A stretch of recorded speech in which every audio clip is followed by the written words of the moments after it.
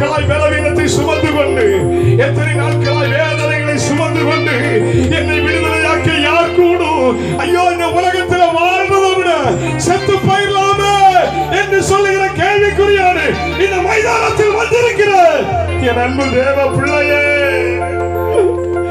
ஏகோவா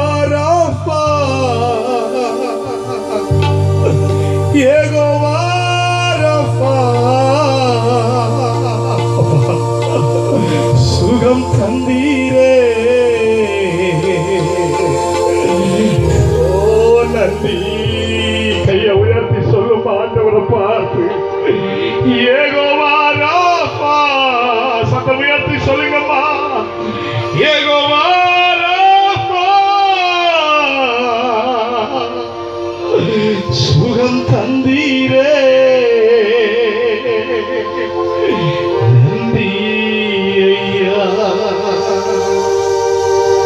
சுகம் தந்தீரே. நன்றி. கையை உயர்த்தி சொல்லுங்கம்மா. சுகம் தந்தீரே.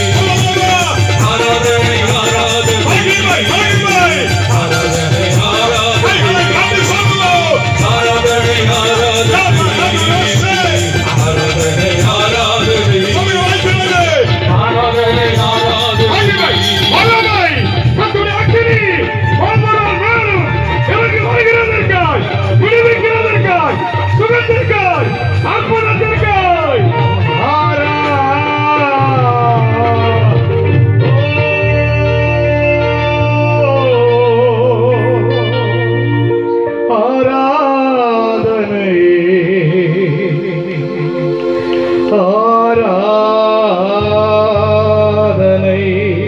தலைக்கு மேல கையை தட்டி அப்பாவுக்கு நன்றி சொல்லுங்க பார்க்கலாம்.